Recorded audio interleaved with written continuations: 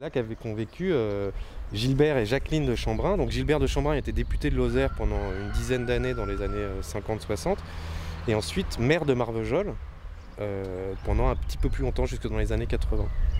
Et c'était tous deux euh, deux grands résistants qui sont illustrés euh, dans l'armée secrète euh, pendant la, la Seconde Guerre mondiale.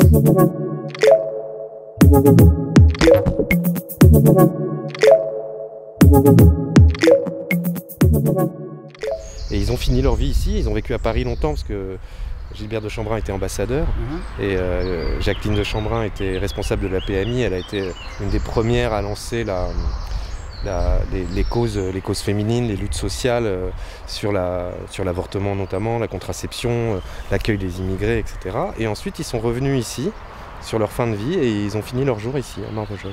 Ils sont enterrés à Marvejols.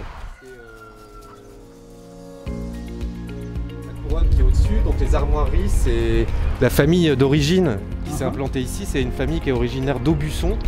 Donc on est au tout début de- du 15e siècle. Et euh, c'est une famille qui s'appelait Pinoton. Donc ça, c'est ce qu'on appelle des armes parlantes. C'est-à-dire que vous avez le nom de la famille qui est illustré dans, dans- dans l'arme. Et donc, euh, Pinoton, vous voyez, il y y a trois pines de pain. Donc, euh, voilà. D'accord. Et euh, un mariage avec la famille Grangier, qui elle avait les, les armes d'un aigle aux ailes affaissées, au vol affaissé, on appelle ça en, en armorial. Mhm. Et donc, euh, quand il y a un mariage comme ça, on, on écartèle euh, les armes, elles sont écartelées au, au sens littéral, c'est-à-dire coupées en quatre, écartelées.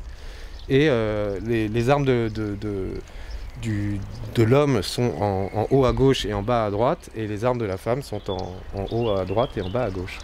Voilà. Et puis là, c'est la croix de Saint-Louis qui a été donnée, mais très, très tardivement.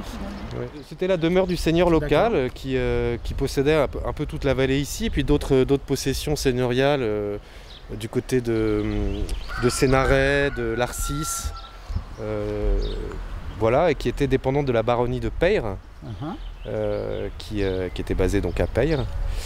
Et c'était un vassal du baron de Peyre.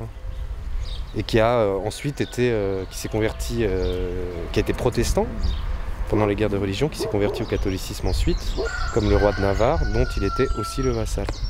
Et qui a fait ensuite une carrière euh, d'écrivain à Paris. Voilà, ma grand-mère a trouvé cette inscription.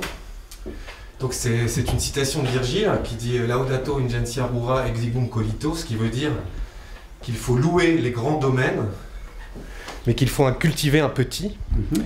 Et juste en dessous, le, le propriétaire des lieux donc de l'époque, euh, donc euh, Pierre Pineton de Chambrin, on est au- à la toute fin du, du XVIe siècle, a écrit ce, ce petit, euh, quatrain plutôt, qui dit L'empire à l'empereur ne donne les plaisirs que je vas recevant de mon petit empire.